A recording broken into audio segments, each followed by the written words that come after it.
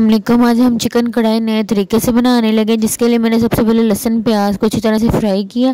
फिर हमने टमाटर को आधा काट के बीच में डाल दिया आधे आधे काट के। अब हम इसको भी अच्छी तरह से फ्राई करेंगे, अदरक को भी हम अच्छी तरह से फ्राई करेंगे। दैन हम इस सारे मसाले को ग्राइंडर में डाल कर अच्छी तरह से इसका फाइन सा पेस्ट बना लेंगे।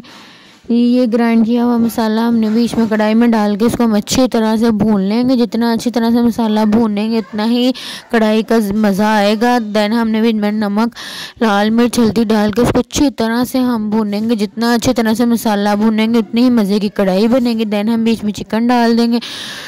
इसको हम अच्छी तरह से मिक्स करेंगे। देन हम बीच में काली मिर्च डालेंगे, कुटी मिर्च डालेंगे, कढ़ाई मसाला डालेंगे। बाद गरम मसाला हमने बीच में डाला है। हमने दालचीनी का टुकड़ा डाला, बड़ी इलायची डाली। अब हम इसको अच्छी तरह से मिक्स कर देंगे और पकने के लिए रख देंगे।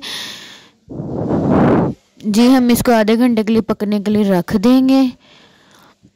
ये देखिए जी, आधा घंटा हो गया था पकते हुए। ऑयल भी ऊपर आ गया। बहुत मज़े की कढ़ाई बनी। सबको बहुत पसंद आई। आप भी ज़रूर ट्राई कीजिए लाइक कीजिए शेयर कीजिए सब्सक्राइब कीजिए कमेंट कीजिए। थैंक यू अल्लाह हाफिज़।